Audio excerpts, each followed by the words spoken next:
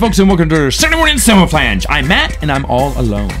Uh, true story. Uh, my brother, who rarely visits, in fact, I don't think he's been here in years, probably maybe even close to a decade. He came in to visit as of this recording here uh, for a few days, and I tried to keep him one more day. I should have done this earlier with him, but I wanted him to join me on the podcast because I said, hey, look, I don't have, uh, I knew uh, that I didn't have time to have uh, Benjamin and Mikey over. And I was like, dude, we should do a podcast. He was all for it. And I was like, and I waited. My, my kid had double ear infections. Everyone was, you know, everyone had an ear infection. Just about all the kids had ear infections. And so I, I delayed it a couple of days while he was here. Didn't see him for a few days. Saw him one night. We watched a movie together. And then I was like, hey, if you can stay one more day. He's like, no, dude, I got to go home. Got to go home. So, I mean, he'll be back next month. And maybe then I'll bring him on. But, um, and if anyone knows, I did one of my old YouTube videos was a sing along.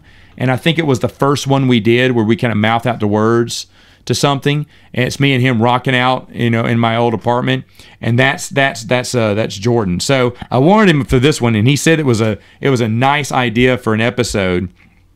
And uh but and, and we talked a little bit about things. I'm not going to give any of his well no I'll wait. Maybe he'll come back and do his now uh this is one i got to give credit where credit's due this is from uh, uh, Benjamin and Mikey one a few weeks ago. They were talking about good ideas. This is a great one. I want them to be here, but unfortunately, they couldn't make it. Benjamin is uh, at this point of the recording. He was taking night classes right now, and so he doesn't have a night to do it. Mikey has, I guess, been busy. Like he responded to me about other stuff, but he didn't respond back to me if he was coming in to record. So I don't know, dude.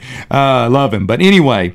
Um, it, it, this is top five movie franchises that went off the rails. We talked about TV shows that went too long in the tooth. Okay, and we had the same idea for movies you know, that just went too long. You know, they should have wrapped it up and, you know, uh, stopped earlier. But where was that turning point? When was it just too bad and it should have continued? I'm not talking about, well, I think we would should have stopped this. At, you know, they should have ignored the third movie or the second movie and just had the third movie. No, we're not going to do that. You know, um, dang, I just thought of another one just as I was saying that because I know another one that would be very good. Even the third movie wasn't as bad. The second movie was garbage, and they should have stopped after the first. So, man, this is really hard now. Now I got to look at my list here. I am, you know what? I have decided, I have decided not to do this. I'm not gonna. I'm gonna do a top five. Maybe I'll just list them off here because now I have so many, and this is another one that I think they're possibly could have been some crossover, even though there's honestly you could say this about thousands of movie franchises, right? You can say exactly went off the where they went off the rails. And man, looking at all these, yeah, I don't think how many do I have now? One, two, three, four, five, six, seven, eight. Yeah, oh man, I could almost make a top ten if I thought about this. Um, but as I'm as I'm sitting here and just doing this, I just thought of another one, and I thought of one right before I went live too. So this is, and I, I have not looked this up. This is another one that I have not looked up, and I just thought of all the franchises and stuff because I'm a guy who watches the you know the directed DVD sequels and whatnot, and you know, there's a lot of movies. Some I care about more than others. These are the ones that I really cared about because I really liked the original movie. Um, the rule is they at least had to have two movies, obviously, right? At least should have had two movies. So let me give you an example here.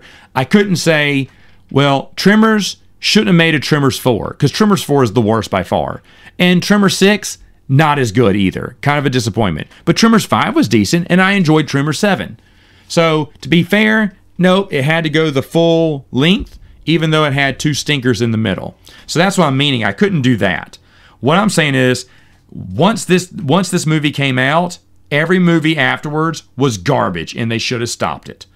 Right? That's what we're talking about here. Now, again, in the comments, ooh, I bet you're going to have tons of them that I didn't think of. And another shame is, since I don't have any co hosts, they are going to list some that probably would have changed my mind as well. All right? Because there's certain things, and I'm not going to do slam dunks either. If anyone knows, they did make a national, uh, uh, no, a National Lampoon's Christmas Vacation 2. They made one. It has got to be, in my opinion, the worst movie, not just sequel, but the worst movie in the world. It is so bad. Dennis Quaid is in it. He stars his cousin Eddie. It was made off of a budget of maybe $300, maybe 400 I don't know. Uh, but it's done super cheap. It is not funny. It is awful. I mean, awful. It's just a cash grab, you know, direct to DVD cash grab they were doing back in the day. So it should have stopped at the one, first one. No, that one's too easy. I'm not going to punch down on those. Those direct to DVD sequels that you saw from, I mean, you could do this to every Disney movie too, right? Cinderella. They didn't need a two or three. Because I remember my wife, we decided to watch all the sequels to the original movies. And with the exception of Aladdin, most of them sucked. Like Pocahontas 2, I think they made one of those. I didn't like anything after The Lion King. Everyone says, well, one and a half is really good. I didn't think so. I, I there's nothing there for me. Um, I'm trying to think of what else they did too. But Little Mermaid 2, terrible, terrible. Bambi 2, get out of here. I mean, that was back when Mike Eisner was just making sequels to every uh, Disney classic, and they sucked.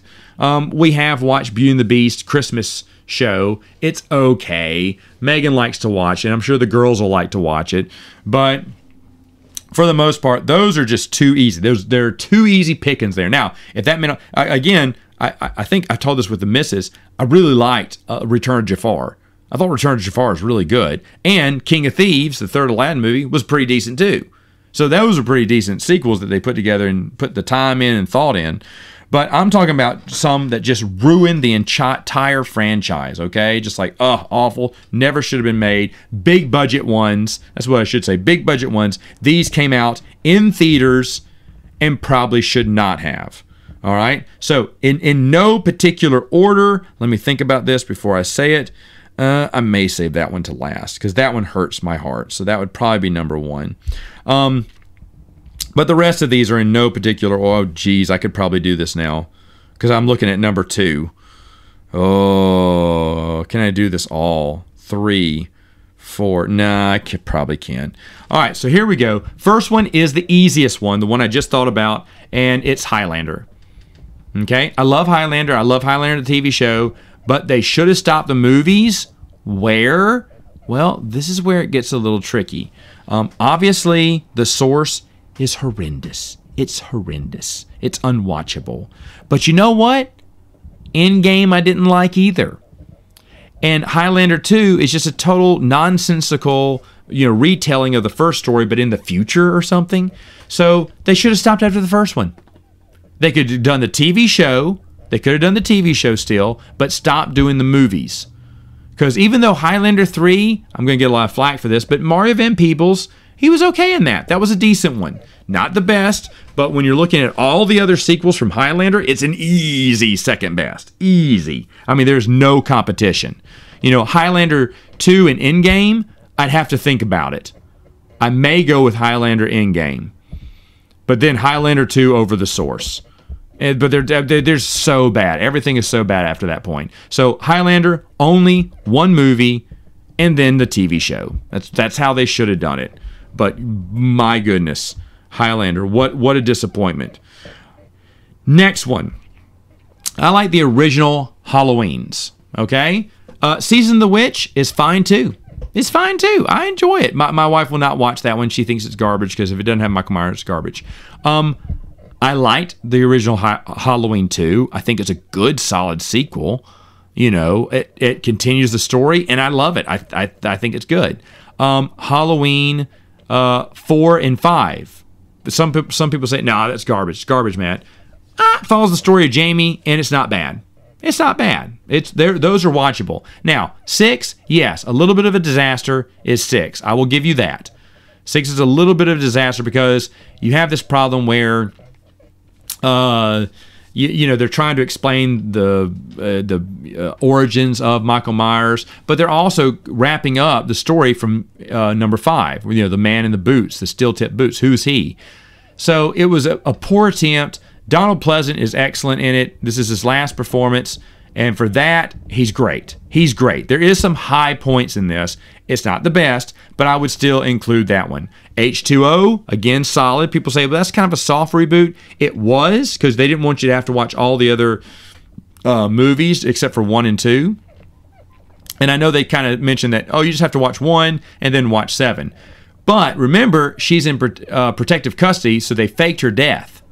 And she's living under a different name, which does tie into the original show. So it has it has strings to say, well, if you did like the original movies, if you've been following it, we'll give you an out. We'll say that Jamie thought her mom died, but she actually went into protective, uh, protective custody, which makes sense too. Why was she abandoning her child? Because she's hoping that Jamie lives a life without the threat of Michael Myers. You know, so she's also protecting her child. You can say, well, that doesn't mean she's a good mother because she doesn't mention her in the seventh movie. I don't care. I can buy it and it makes sense to me.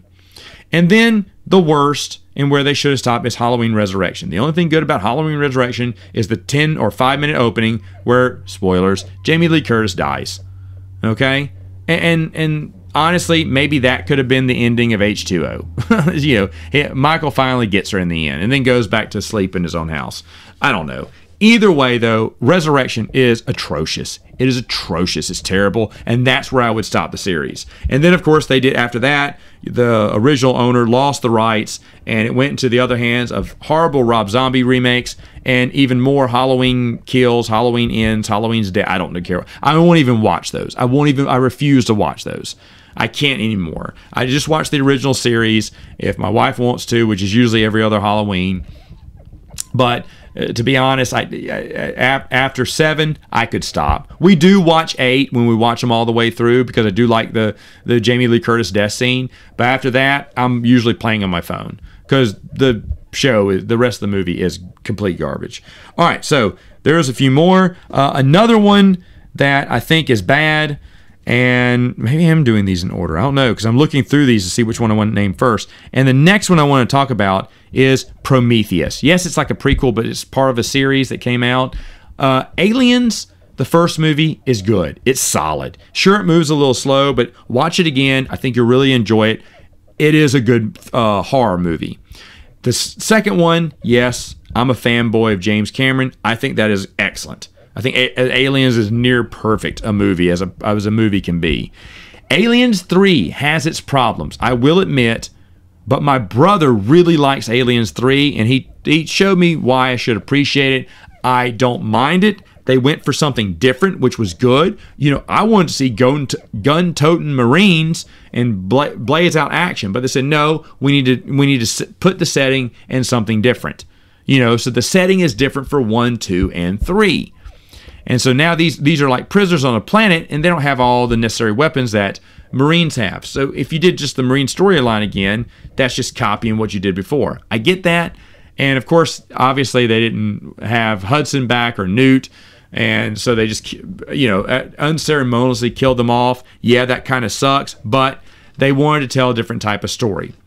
And that's great. I don't mind that. You know, it's fine. It doesn't bother me. Doesn't bother me at all. They say Bishop for some reason just because he was an awesome character in the second one, but eventually he kind of ends his life too. And Ripley ends her life as she's impregnated with an alien. It's a great ending. A, a, uh, well, oh shoot, I forgot about Aliens Resurrection. Should it stop there? Maybe. Alien Resurrections. Not. Uh, I I saw this one. I think it's called. Is the fourth one called whatever? Aliens Four, whatever it's called. That one, man, the ending is horrendous but I didn't mind the ship crew. I thought they were really good. And the storyline was okay. It was okay. The ending's kind of terrible. Ooh, should it have ended at four? Because I was going to say Prometheus is where it should have ended because that was just was horrible. But no, I'm going to go back. I'm going to say that Alien Resurrections, that's where it should have ended. They shouldn't make any more aliens because they made the other one, Aliens Covenant. It was horrible too. I mean, it just gets worse and worse. Like Aliens Covenant is just oh beyond bad, beyond bad. It's like Prometheus fooled me at first when I walked out of the theater. I thought, oh, that was a good movie, and then the more I started thinking about it, the more I thought, no, that was a piss poor movie. What was I thinking? When I watched Covenant, I I could see it was terrible, terrible. And don't get me started on AVP. You know, Aliens vs Predator was just horrendous too. So yeah, it should have stopped after Aliens three should have stopped. And I, I, do think Aliens 3 is good and it's worthy of sequel uh, love. And if they would end it there, we would still be talking about this trilogy as being one of the better ones out there. So there you go. All right, so the next one, I am doing these in an order, I guess. Uh, the next one is Terminator. Where should they have ended this? Obviously, the whatever one that came out, Dark Tidings or Dark Greetings, I don't know, I don't remember what it's called now. I never saw it. I never saw it because I was done. I was done. Um, but you got the first one, which is just excellent. Just excellent. To be honest, between the first and the second one, it's close. It's close. I am going with James Cameron because T2 is awesome. It has a great, lots of memories with me. I saw it. It was the first R-rated film I saw with my dad in theaters. So it has that special moment, and that's what beats it out. But Terminator 1 is really good. Really good. Terminator 3. Ooh, okay. Yes, a step down. I agree. Watchable because, of course, they can't, you know, stop the future it looks like the war is going to start anyway, and he's in a safe base, ready to take command, ready to start the legend of John Connor. For that reason, I don't mind it. I don't mind it for that reason. You know, but other than that, yeah, it was wasn't the best. But then, and that was the last time, you know, Arnold was the was a real good Terminator, I guess. But Terminator Salvation was really good. I enjoyed it. I really, I know that was supposed to be a uh, trilogy. It's supposed to be a new trilogy where they just talked about the war, the war against man versus machine. And I was like, great, no more stupid time travel because obviously by T3 they had run out of ideas for the series. It was bank creatively bankrupt, as they say. But Terminator Salvation, I thought was good. I was like, okay, we're going somewhere. Even the the, the cheesy TV sh- show was pretty decent. You know, I mean, it, it took a while, but after it got through season two, I was like, okay, I'm in it to win it. I'm interested in what's going to happen here. But it got canceled right before I think Salvation was coming out, which didn't make any sense to me. I know the numbers weren't good for it, but I was like, well, Salvation's coming out. You should at least try to give it a third season and see where it goes. So I was even happy with that. But Salvation I thought was great. I said, no more time travel. I just want to see the fight. And I enjoyed Terminator Salvation. A lot of people hated it. A lot of people hated it, but I enjoyed it. But Terminator Genisys is where I draw the line. That was garbage. I knew it looked garbage. I didn't want to see it. I always loved Terminator, but I did not want to see it. I got a free ticket to it. I won one at a restaurant. They offered me a free ticket to see Terminator Genisys They just come out. I was like, oh, okay. Some just promotion. They were working next to the uh, movie theater and they had a cross promotion about it. So I was like, okay, well, I guess I'll go see it. I was traveling in Columbus, Ohio. I didn't have anything to do that night, so I was like, well, I may as well, you know, catch a movie while while I'm here. So I went and watched it, free ticket, and it was worse than I ever could imagine. It was horrendous. Again, the other one, Dark Tide or Dark Tidings, Dark Greetings, whatever it's called, I'm not going to watch it. It's just so bad. And it's sad because, again, Terminator Salvation, I loved. I thought it was a solid film. You, you're if you're definitely going to disagree with Matt, uh, me on that. But if you do agree with me, I want to hear it. I want to hear it in the comments. You said, "Yay, yay, Matt! Terminator Salvation. I enjoyed it too." Which you know, I, I expect fully one comment of someone who just doesn't really care and just wants to just you know, they feel pity for me and they go ahead and say it in the chat, um, in the comments. That's fine too. All right, but anyway, yeah, Terminator Genisys, anything after that, complete garbage, never should have been made. So now I'm at one, two, three, my top three here. No, top four. So I guess Terminator Genisys would have been five. Okay, so here we go. Four. Four. Now I can do these in order. Matrix Resurrections, the fourth one. Now you're saying, well, Matt, hold on, the third one wasn't that good either. You're right. The third one wasn't that good but it gave us an ending. Neo dies, you know, kind of the end there. I get it. It's fine. It, it is the worst of the three, definitely. But um, I think it's Resurrection. Is it Resurrection? Whatever the Matrix 4 was, that one doesn't feel like a Matrix movie. It feels like complete and utter garbage. Now, I was excited. Believe it or not, folks, it fooled me. I was like, okay, I'm interested. How does he come back? I mean, and then it's the whole thing they're talking about. They're making fun of reboots and how reboots never work. And here's here's a generic outcome for a reboot. It's like, oh, okay, so this is going to be different. No, it was beat for beat the first movie again, but with Trinity, and worse. It was worse than before. I was like, oh my gosh. So they even made fun of how reboots are bad, and here's why reboots are bad. And by the way, we're going to follow exactly the same formula that we made fun of for being terrible. I don't know what they were. I mean, I, I heard the story. The studio was going to make it with or without the director, and the director said, "No, I'm gonna. I'll go ahead and do it." And then some people say, "Oh no, the director deep sixed his own movie." I don't think so. I don't believe that. I think that the director thought that he made a great movie, but in the end, you know, uh, who cares? Who cares? I love Keanu Reeves, which I was excited to see him back as Neo, but that movie was awesome. No, not awesome. Awful. Awful. Awful. The first movie, awesome. It went from awesome to awful. That's what I meant to say. and you just cut out that clip there. But, and even the second one, I think it was called Reloaded, is decent. It's actually pretty good. The only the only scene, and everyone makes fun of this scene, and two is not the architect at the end who's so confusing you don't know what's going on. It's kind of like what? Because it's this it's the it's the part two in a uh, trilogy, so I didn't mind that.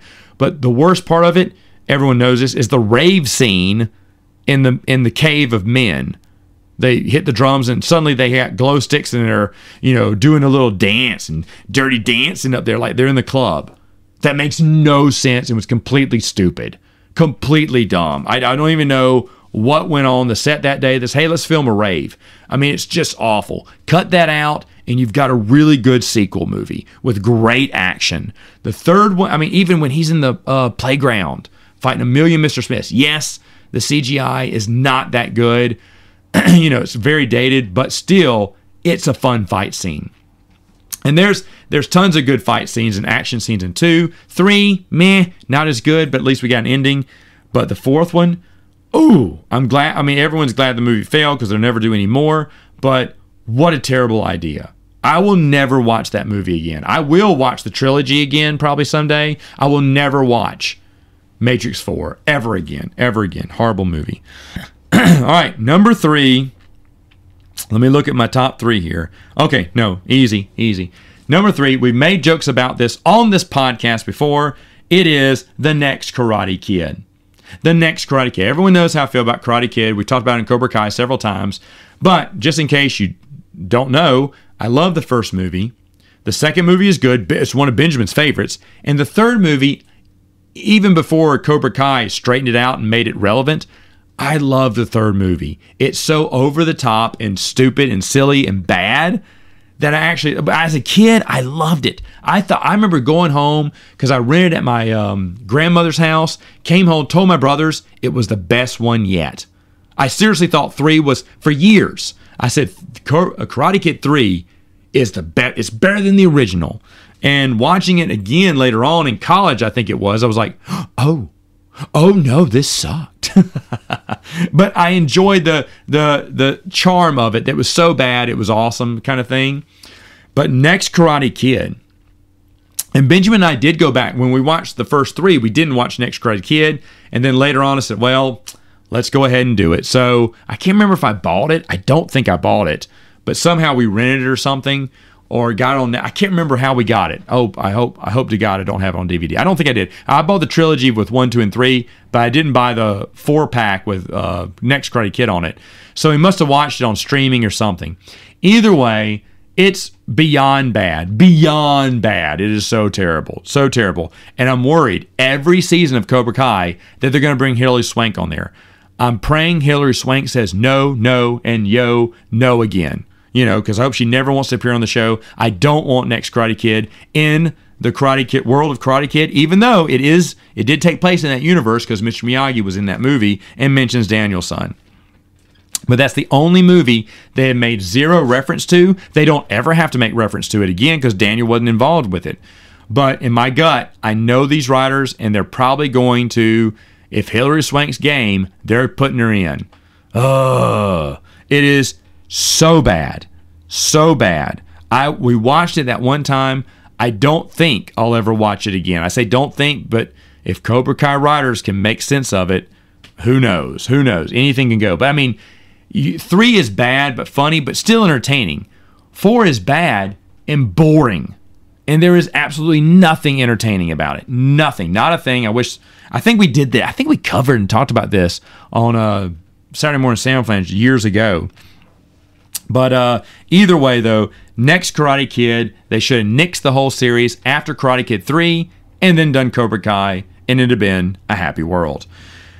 My number two, This is a, this is a strong one here. Uh, Toy Story 4. What a disaster. What what th- there is nothing redeeming about Toy Story 4. Toy Story 4 is an insult to an excellent franchise. Um, Toy Story 1 is I love the Toy Stories. Those are my favorite Pixar movies. Toy Story 2 is good. It's great. And you cannot deny that Toy Story 3 is the best of them all. It's like they say the best for last. They were really on top of their game. You know, they'd elevated the storytelling. It was excellent. It was the perfect send off for the toys. Um, if you wanted to hear more about the toys, they did two direct to DVD movies. Uh, uh, the Toys of Terror is man, it's okay. But Toys That Time Forgot, excellent. In fact, when I watched that with my wife, I told her, I said, this should have been the fourth movie. I really enjoyed it. And I, I did recently rewatch that a year or so ago. I still love it. It's a solid movie. It's a solid direct to DVD movie. And it beats the tar out of Toy Story 4. I probably, probably, I'll never say never on Toy Story because if my little girls want to watch the fourth one and I have the time, I'll probably watch it with them. But that movie is irredeemable. It is so bad, so bad. What was Pixar thinking?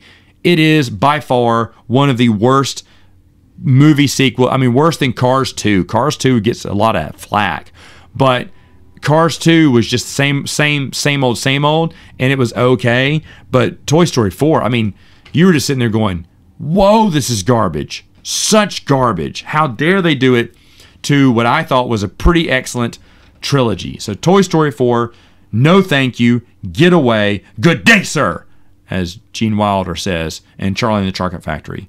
You know, you don't get your lifetime supply of chocolate.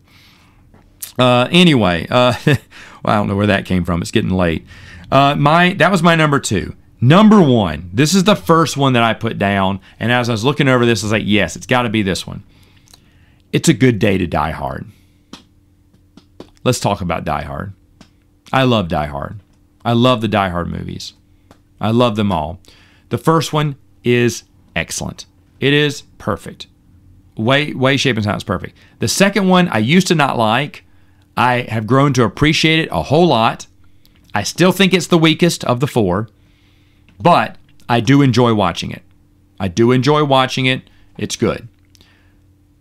The third movie, excellent. Again, Jeremy Irons is in it, Samuel Jackson's in it, and they do not disappoint. It is a fantastic movie. I remember this is the first Die Hard I got to see in theaters.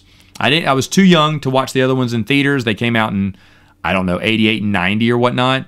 But by the time 92, 93 rolled around, I was old enough to drive and old enough to go sneak off and see R-rated movies without my parents knowing. Truth be told.